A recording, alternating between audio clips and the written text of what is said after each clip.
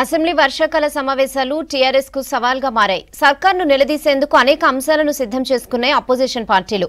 వరి సాగు ధరణి సమస్యలు పోడు భూములు నిరుద్యోగ సమస్య దళిత బంధు వంటి అంశాలపై సర్కార్ను ప్రశ్నిస్తామంటున్నాయి. దీంతో ఈ సమావేశాలు టీఆర్ఎస్కు సవాల్గా మారినట్లే అనిపిస్తోంది.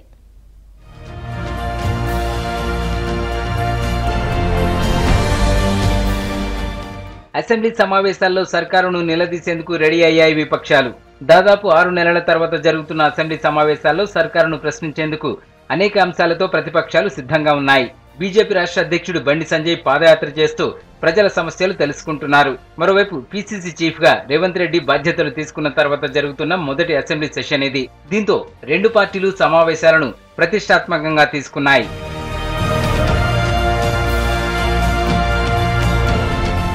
అసెంబ్లీలో సర్కారును నిలదీసేందుకు ప్రస్తుతం విపక్షాలకు చాలా అంశాలున్నాయి. వరి వేస్తే ఉరే అని సీఎం కేసీఆర్ చేసిన కామెంట్తో రైతులు ఆందోళనతో ఉన్నారు. వరి వేయకుండా ఇతర ప్రత్యామ్నాయ పంటలు వేసుకోండని ప్రభుత్వం చెబుతోంది లక్షల కోట్లు పెట్టి ప్రాజెక్టులు కట్టింది. ఇతర పంటలు వేసుకోవడానికేనా అన్న చర్చ జరుగుతోంది.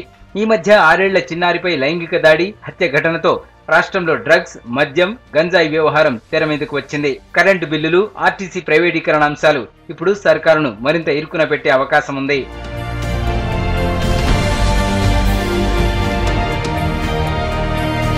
ధరణి సమస్యలు పోడు భూముల వ్యవహారం సర్కారుకు మరింత ఇబ్బందిగా మారింది. అన్ని సమస్యలకు పరిష్కారం ధరణి పోర్టల్ అని చెప్పింది సర్కార్.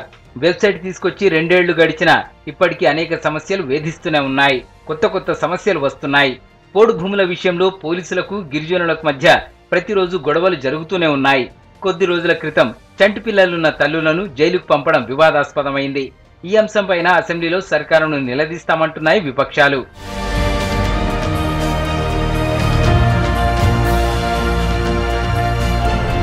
రుణమాఫీ విషయంలో ప్రభుత్వం పూర్తిగా విఫలమైందని రైతులు ఆరోపిస్తున్నారు.